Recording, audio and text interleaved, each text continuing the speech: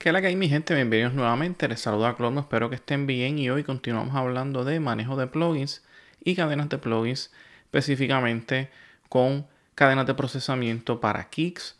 Algunos de ustedes quizás usarán la palabra en español que es bombo o bombo, no sé, pero yo le digo Kick. Así que vamos a ver algunos ejemplos sobre eso, un poquito de la filosofía, pero nada, van a ver que según entonces voy haciendo otros videos dedicados a diferentes cosas con eso de cadenas de procesamiento, van a ver que la filosofía es más o menos la misma, pero vamos a dejarnos de cosas, vamos a ver de qué se trata, así que vamos a lo que vinimos después del fabuloso intro.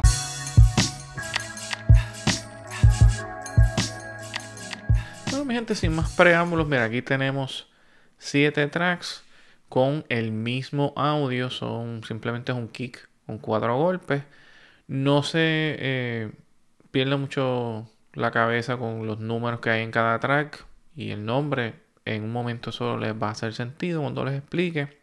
Pero la razón obviamente por la cual copié el mismo audio en todos los tracks es para que una vez lo escuchen sin ningún procesamiento, pues sepan qué es lo que está pasando y cómo está cambiando. Dicho eso, pues el propósito aquí es eh, obviamente mostrarle el audio sin nada. Luego eh, encender cada una de esas cadenas. Y entonces cuando tengo aquí en los tracks un número y un número con una letra es simplemente porque estoy queriendo comparar algo. Y una vez lo, entremos de lleno pues van a ver qué es lo que estoy tratando de comparar. Eso simplemente para que usted haga anotaciones y practique por su cuenta. También eh, puede ser porque estoy comparando simplemente plugins de Logic, que es la mayoría de los ejemplos que voy a estar mostrando aquí, versus plugins comerciales básicamente de, Waves es lo que utilicé porque es lo más como que popular que yo sé que ustedes deben estar al tanto. Y también voy a tirar algunas recomendaciones por ahí, pero nada. Vamos a escuchar esto primero sin ningún procesamiento. Recuerden, es el mismo audio en todos los tracks, así que sin procesar se va a escuchar igual en todos. Eso es todo. Un kick con un poquito de punch, no mucho. Tiene un poquito de frecuencias altas también. Tiene un poquito de, como quien dice, de crunch.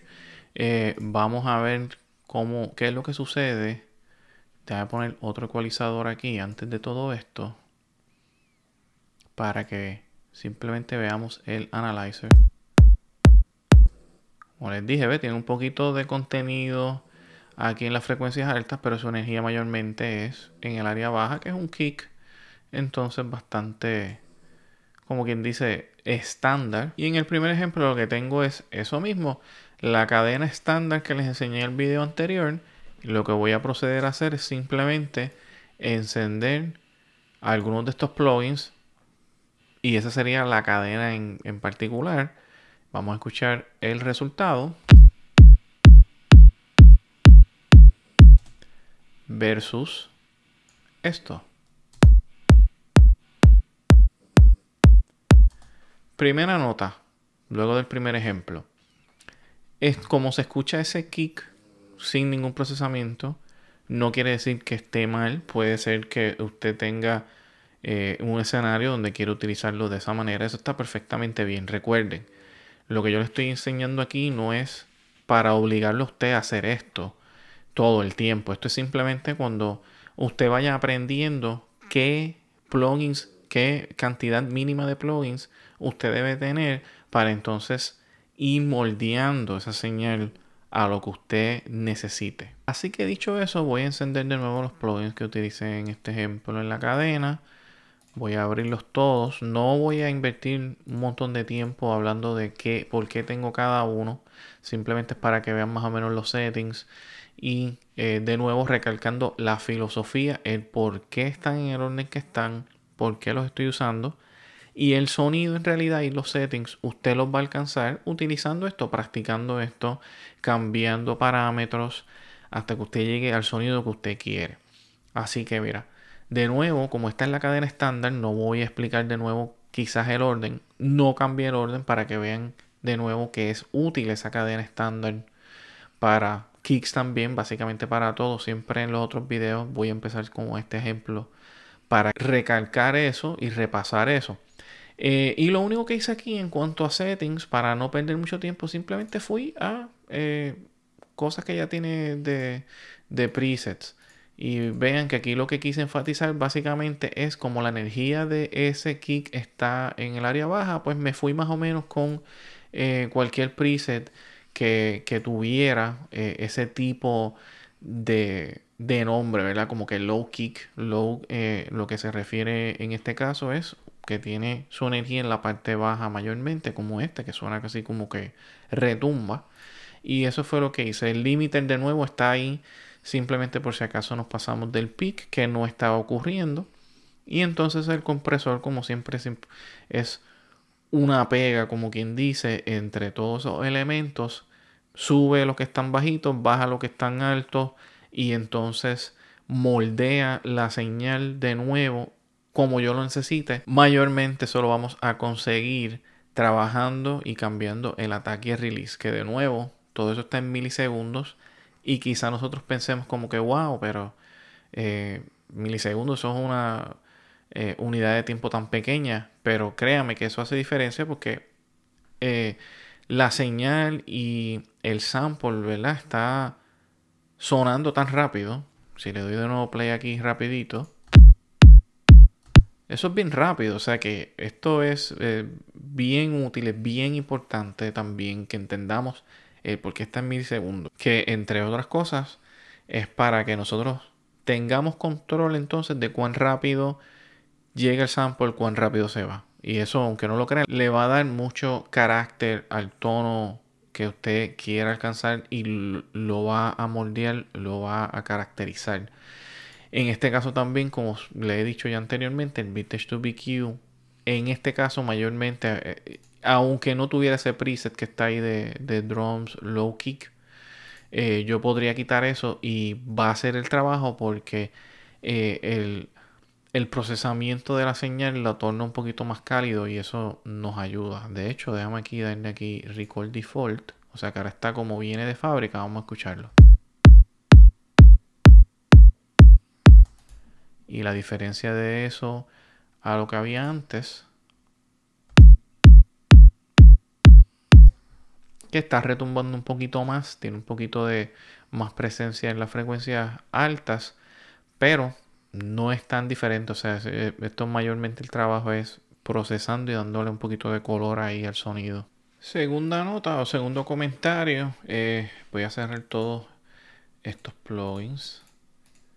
Es que todos estos eh, audios también fueron normalizados para que su output sea en el peak menos 6. ¿verdad? Ya vimos ese ejemplo donde estaba procesado ya. Ahora vamos al segundo ejemplo. Y de nuevo sin procesar. ¿Ves? Ahí pueden ver. Y si yo voy a través de todos los tracks. Vean que se queda ahí en menos 6. De nuevo, eso es sumamente importante si no sabe de lo que estoy hablando en cuanto a game staging o estados de ganancia, vaya a esa miniserie que tengo en mi canal donde lo explico allí para más detalles. Pero esto de estar utilizando cadenas de procesamiento, sobre todo en elementos como el kick, la voz, elementos así que son bien, bien importantes o cualquier elemento que sea importante al género musical que usted practica y produce, pues el game staging, los estados de ganancia o que usted sepa cómo está manejando sus peak levels es sumamente importante porque cuando usted empieza a procesar, como he dicho antes, las cosas se disparan y también los plugins suelen a activarse y actuar de manera eh, un poquito errática porque a veces muchos plugins están diseñados para trabajar con señales bastante bajitas porque entonces el plugin es el que ayuda a subir el volumen y etcétera, etcétera. Así que siempre tenga eso en cuenta. No solo haga una cadena y empiece, rompa ahí a poner parámetros y dejarlo así. Experimente de nuevo, asegúrese de que usted tiene un buen control de esa señal y cómo entonces la señal se afecta si a lo mejor usted pone una cadena de procesamiento en un kick y no se escucha muy bien. Usted dice, pero ¿qué está pasando aquí? Se escucha horrendo. Pues empieza a trabajar con eso de la ganancia del audio como tal. Y luego que usted haya hecho eso, si necesita trabajar con eh, un poquito de la ganancia de salida en los plugins, también lo puede hacer. Ahora vamos a ir acelerando un poquito para ir terminando. En este, entonces, este otro ejemplo, tenemos esta cadena aquí. Vamos a encenderla rápidamente. Vamos a escuchar la diferencia entre eso y esto.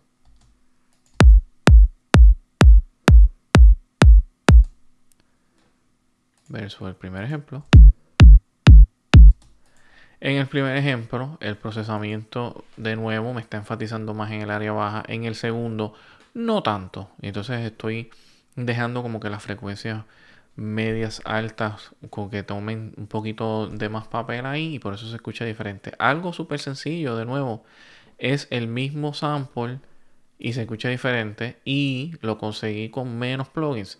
¿Por qué le llamé a este ejemplo 1A? Porque este, esta cadena que está aquí es una cadena que ya viene dentro de Logic. Si vamos aquí, vamos a Legacy en tus settings, baja Logic, Drums and Percussion, Acoustic Drums. Y esto es más bien como para un kick acústico. Esa es la categoría, pero más bien está buscando un kick con un poquito de más punch. Pero el ecualizador no está haciendo, no está haciendo tanto corte en esta área aquí en comparación con el ejemplo número uno y entonces está enfatizando al revés un poquito más en estas áreas altas de por sí y entonces pues le está dando obviamente más presencia. ¿Qué quería también decir al respecto? Voy a, ir a abrir todos esos otra vez. Que entonces en este caso, curiosamente, también tenemos un diferente orden de los plugins, que es algo que les mencioné anteriormente con lo cual debemos experimentar. Y en este caso no hay ningún tipo de ecualización como que para limpiar el sample, rápido entramos a la compresión y luego ecualizamos para hacer boost en las señales que nos importan.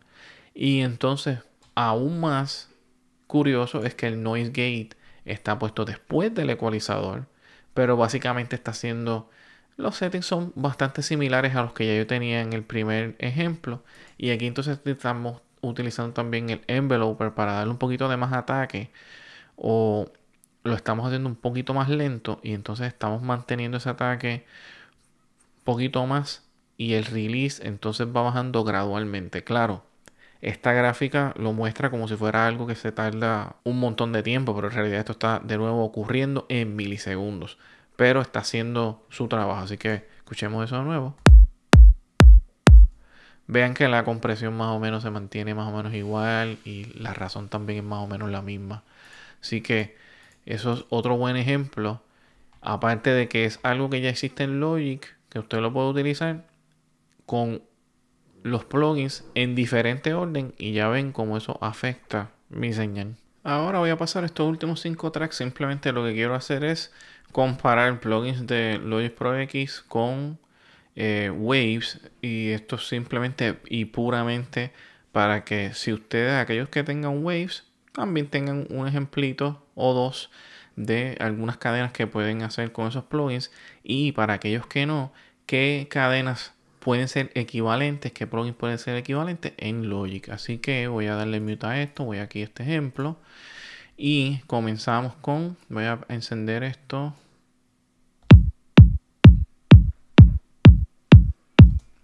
se escucha muy diferente a lo que teníamos originalmente. De eso, me gusta mucho cómo suena ese kick. Yo uso esta cadena, eh, no voy a decir todo el tiempo, pero la uso eh, con alguna frecuencia. No es que tiene muchísimo en el área baja ni en el área alta, es como que está como que en medio, como que bien procesada, como que un poquito más eh, comprimida. Entonces, ¿qué tenemos aquí? Simplemente verá, ecualización, otro noise gate, compresión. Lo único diferente aquí, que tenemos un bass amp. Hay un tutorial en el canal sobre el bass amp. Y el bass amp el que está haciendo como que la mayoría del trabajo aquí. Ve, aquí estoy utilizándolo como, no solo como... Eh, para pompear un poquito más esas frecuencias bajas, sino para cortar un poquito más de las altas. Y mayormente lo que está haciendo esto es simplemente coger esa energía baja y como que modificarla de tal manera que no se escuche como que con mucho bajo, o sea, como que retumbe el bajo, pero que se escuche todavía que no tiene mucho contenido en las frecuencias altas. Y el limitador, aquí sí está haciendo un poquito más de trabajo.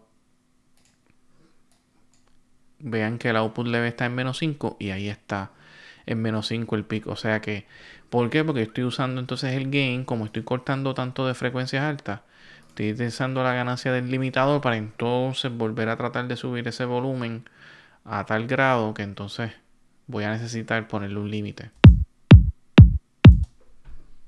Y nada, eso es otro ejemplito. Y entonces, ¿por qué hice ese ejemplo? Porque entonces eso compara con este ejemplo 2A que es utilizando simplemente plugins de Waves. Entonces aquí, este señor, el Audio Track, es un plugin bien útil, bien limpio, bien transparente, como yo digo, y bien fácil de usar. Mira, tiene las tres cosas a la vez. Tiene un ecualizador pequeño, ¿verdad? De pocas bandas, pero que sirve para hacer cortes así sutiles. Tiene ya su gate y tiene una compresión. O sea que con un solo plugin estás haciendo tres cosas. Los settings son básicamente lo más similar posible al ejemplo que ya les mostré anteriormente. El max base, este que está aquí, entonces se refiere o es similar a lo que está haciendo el sub base. Está simplemente, estoy simplemente tratando de eh, mezclar el bajo original con una señal aquí. Eh, debajo que me está creando este plugin y al combinar las dos pues entonces creo ese efecto y ese L1 Ultra Maximizer es simplemente otro limitador. Así que vamos a escuchar la diferencia entre ejemplo 2 y 2A vamos a escuchar el 2A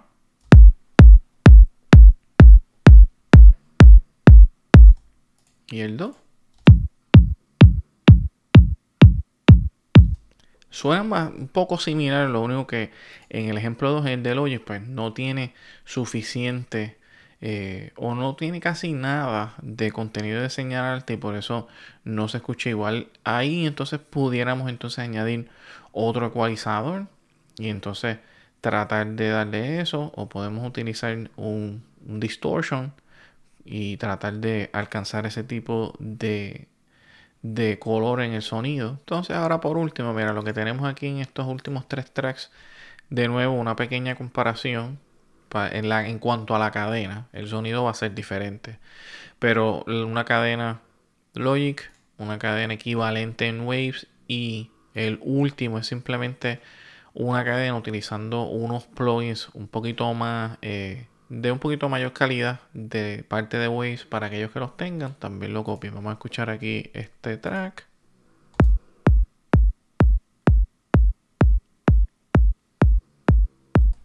Noten que no tengo una energía así tan brutal. De hecho, estoy hasta perdiendo energía. Así que en el limitador yo puedo venir aquí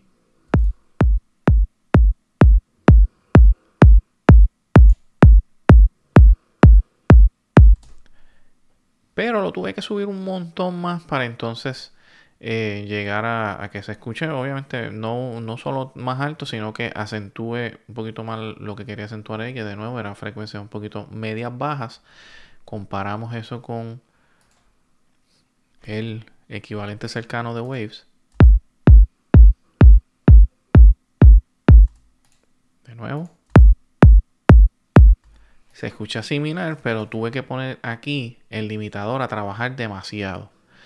Mientras que aquí, en el caso de Waves, mi limiter no está trabajando tanto en comparación con el de Logic y aún todavía tengo espacio para, ¿verdad? Llegar a mi peak de cero. Así que esto también lo quise hacer a propósito para recalcar de nuevo la importancia de qué tipo de limitador utilicemos si lo tenemos que usar.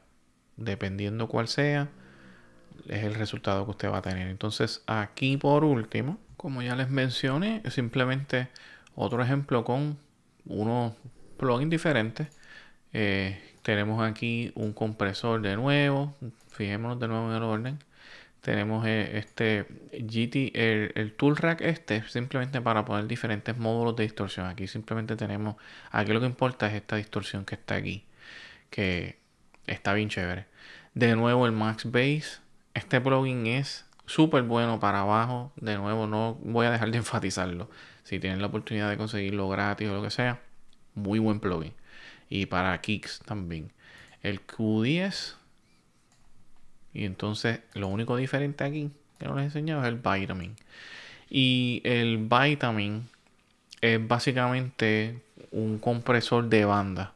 O sea que aquí estamos o tenemos la oportunidad de nuevo de obviar ciertas frecuencias por completo, no tocarlas, no estar distorsionándolas y enfatizarnos en otros conjuntos de frecuencias, pero con un plugin que no es destructivo, un plugin que procesa la señal lo más limpio posible y nos ayuda a alcanzar unos tonos y un sonido un poquito más profesional, un poquito más limpio. De nuevo recalco por última vez en este video, eso no significa que usted no pueda utilizar cualquiera de estos otros ejemplos que ya les dije que tiene simplemente plugins de Logic Pro X, porque a lo mejor en el propósito que usted quiere alcanzar son útiles y son válidos también, pero quizás usted se va a encontrar que vaya, eh, se va a encontrar con una pared de frente con el tiempo y como que ah, por más que yo cambie aquí los settings y este no, como que no cambie el sonido, no, no se escucha exactamente como yo quiero y simplemente yo les estoy mostrando alternativas para un futuro después usted invierta en ellas. No es necesario ahora mismo usted tener que hacer esto. Para Kicks Ahí lo tiene. Esos ejemplos. Vamos a escuchar este por último. No se escucha muy diferente a otros ejemplos que ya vieron ahí al principio. Pero obviamente cabe señalar y para recalcar, quise hacer esto así y así van a ver un par de videos más donde voy a simplemente atacar un tipo de sonido, un tipo de instrumento solo, no en el contexto de una pista. De nuevo, para que se acostumbren a, en términos, a la filosofía de estar poniendo plugins. Esto no es simplemente poner plugins aquí a lo loco y llenar esto de un montón de plugins. Es de nuevo el mínimo de plugins que yo debo tener en mente en mi caja de herramientas. Ok, voy a procesar un kick. Eh, ¿Qué tal si pongo un ecualizador, un compresor, un noise gate y un limitador? Ok, el mínimo, digamos. ¿Qué puedo hacer con esto? Ah, logré lo que quería. Ok, paso al otro instrumento. Ya, eso es lo que quiero recalcar con esta serie de videos. Así voy a hacer con el snare, con voces. Voces lo voy a dejar para último. Porque en voces es un poquito más complicado. Hay diferentes cosas también adicionales que debemos tener en cuenta. Pero esto es lo más sencillo, de la manera más sencilla que se lo puedo mostrar. Y a aquellos de ustedes que les gusta entonces practicar por su cuenta y no esperar por mí, pues ya aquí tienen un par de ejemplos que yo sé que les van a ayudar. Entonces, de aquí en adelante, usted puede coger y empezar a hacer sus propios eh, cadenas de nuevo también para Kicks. Cuando escuchemos esto en el contexto de una mezcla completa, pues ahí entonces les voy a hablar de otras cositas adicionales como el uso de voces, el uso entonces de efectos creativos, reverb, delay y ese tipo de cosas, ¿ok?